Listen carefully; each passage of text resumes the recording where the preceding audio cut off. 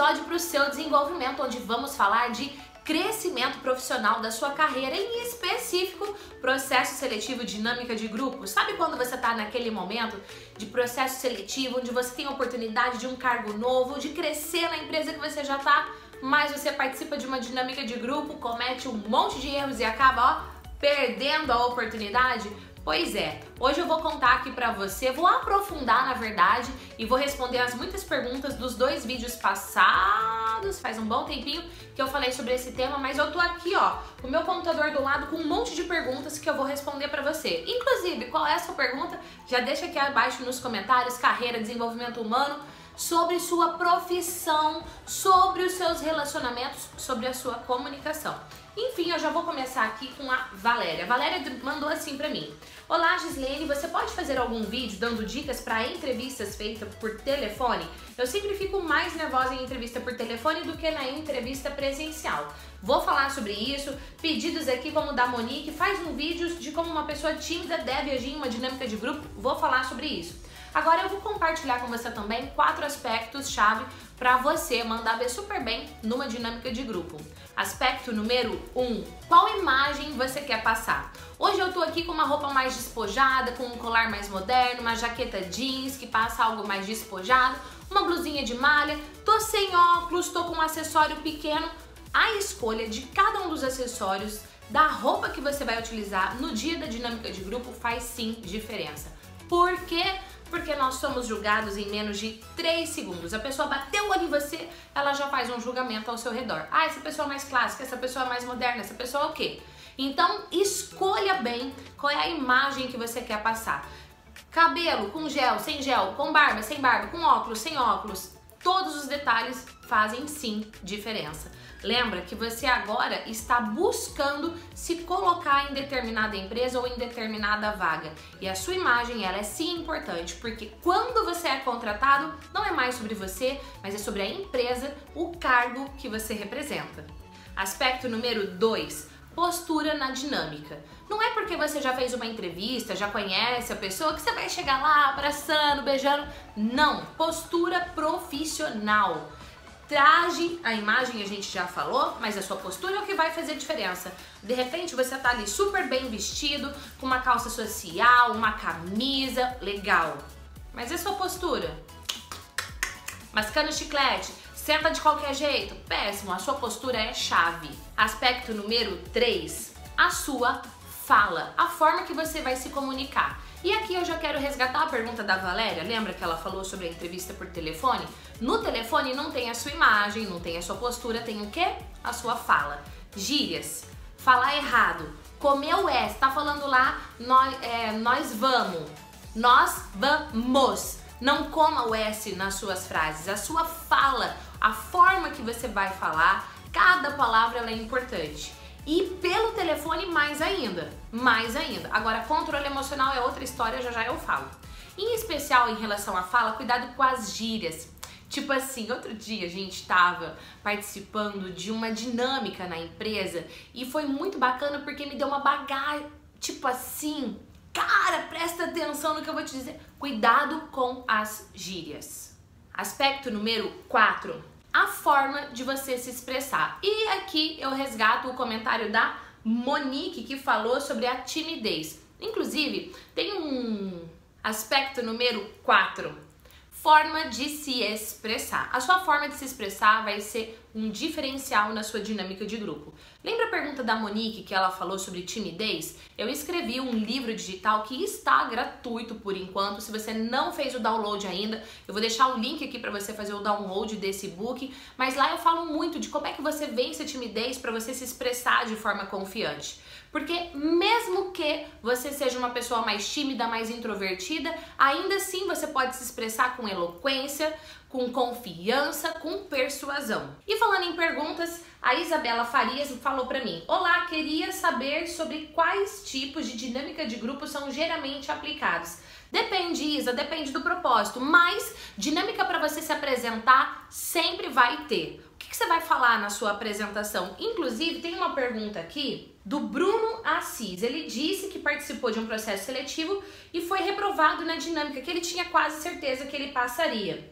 E que ele queria me explicar como é que foi o processo e tal. Ele falou que na, durante a dinâmica ele teve que falar um ponto negativo e ele disse que o ponto negativo que ele comentou foi a timidez e que o ponto positivo é que ele é bom ouvinte. Será que isso pode reprovar em uma dinâmica de grupo? Depende, depende da vaga. Vamos supor que é uma vaga para área comercial. Vamos supor que é para uma área onde a pessoa precisa ser expansiva, saber se colocar. E a fraqueza é ser tímido e o ponto forte é ser bom ouvinte, não serve, porque nessa vaga a pessoa vai precisar ser expansiva e saber se comunicar. Então, na verdade, o que é ponto fraco para uma vaga, o que é ponto forte para uma vaga, depende tá bom? Não é porque, por exemplo, você falou que você é tímido que você foi reprovado. E ninguém nunca, presta atenção, ninguém nunca é reprovado por um único motivo. São vários motivos pelos quais a pessoa que está ali te analisando num processo seletivo, ela chega à decisão de que você não é a pessoa adequada para aquela vaga em si. Olha só, a Ju perguntou para mim: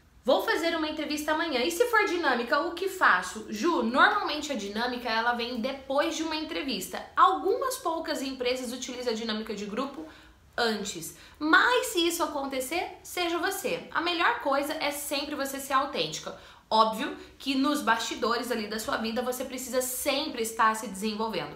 Como eu gosto de dizer, viva a sua melhor versão que você vai ter um efeitual na sua carreira, na dinâmica de grupo, nos seus relacionamentos, quando você estiver falando em público. Então busque sempre se desenvolver para quando você tiver ali uma oportunidade de se mostrar, por exemplo, numa dinâmica de grupo, você se saia super bem. Mas seja você, sempre. A Pamela perguntou para mim: tenho uma apresentação na terça-feira para ser chefe de crediário e vendas. Queria saber dicas de cor de roupa e estou muito nervosa. Pamela, já já eu vou falar sobre controle emocional. Agora, sobre a escolha da roupa, escolha uma roupa condizente com o cargo que você está buscando e que te permita movimento, porque você não sabe se você vai ter que fazer alguma atividade diferente, por exemplo, erguer os braços. Eu falei sobre isso em dicas outro dia lá no Instagram. Se você não me segue no Instagram, vai lá porque todos os dias tem dicas para você. Inclusive eu respondo muitas perguntas lá no Instagram. Mas escolha uma roupa condizente com a vaga que você está buscando, obviamente condizente com o seu perfil, Vista-se bem, esteja confortável e arrase. Agora, sobre a cor da roupa, evite muitas estampas e cor muito cheguei, tá bom? Vá com uma roupa mais sóbria, uma cor mais séria, porque por via das dúvidas não vai ter erro. Mais uma pergunta, o Roberto, ele disse assim: Olá, tudo bom? Estou concorrendo a uma vaga de trainee. Sou homem e tenho cabelo comprido. Gostaria de saber se o fato de ter cabelo comprido me atrapalha, se devo cortar. Roberto, nunca tem certo e errado, mas você sempre tem que avaliar a empresa, com que, que a empresa trabalha, qual é o perfil daquela empresa. Exemplo, se é uma empresa com estilo mais moderno, com jovens, que a galera de lá usa tatuagem, usa piercing, ter cabelo comprido não vai fazer diferença nenhuma. Se é uma empresa mais tradicional, mais convencional, pode ser que o cabelo comprido seja assim um empecilho. Então é muito importante você analisar a empresa, qual é o perfil dessa empresa, as pessoas que trabalham lá dentro, que crescem lá dentro, tem qual o perfil, porque uma vaga de trainee é uma vaga muito preciosa, com grandes chances de, de crescimento, de expansão. Então, se você está disposto de repente a cortar a juba, a cortar a cabeleira, para conseguir aí essa vaga, vale a pena sim, tá bom? E mais uma pergunta, Camila Barbosa. Olá, primeiramente adorei o seu canal? Yes! Fico muito feliz. Inclusive, feliz eu fico com o número de likes e compartilhamentos e comentários. Ai, meu Deus, isso me deixa em êxtase. Mas vamos lá, seus vídeos são incríveis. Será que podia me ajudar? Eu sou tímida e bastante insegura. Creio que por isso não encontro uma oportunidade. Como eu posso melhorar esse meu lado para poder atrair melhor, para poder me sair melhor em entrevistas? Desde já, obrigada. E eu já vou puxar aqui o gancho do Martinho. Ele disse: Eu não sei o que fazer para me passar numa entrevista. Sou bem arrumadinha. Ah, desculpa. E eu já vou puxar o gancho aqui de outra pergunta. Eu não sei o que fazer para me passar numa entrevista. Sempre vou arrumadinha, limpinha, meu cabelo é arrumado. Sempre procuro falar bem, ser objetiva nas respostas, mas eu não sei por que simplesmente eu não passo e ainda ela disse assim que ela não passa de uma simples faxineira. Olha só, não tem nada a ver a vaga que você tá hoje para onde você pode chegar. Faxineira trabalha muito, faxineira é dedicada, faxineira não se menospreze, tá bom? Vise novas oportunidades e vai em frente. E você que também se considera mais tímido, mais introvertido, também não se menospreze. Tímidos e introvertidos têm grandes qualidades e grandes competências. Destaque isso nas suas entrevistas, que eu tenho certeza que você vai crescer e muito. Tá aí quatro dicas para você e mais um monte de outras nas respostas aqui que eu compartilhei. Você, qual é a sua pergunta? Deixa aqui abaixo que eu vou interagir com você sim. E aqui também tem vários vídeos para o seu desenvolvimento. Beijos, fique com Deus, se inscreva no canal, clica no sininho para receber todas as notificações e eu te vejo no próximo episódio. Tchau!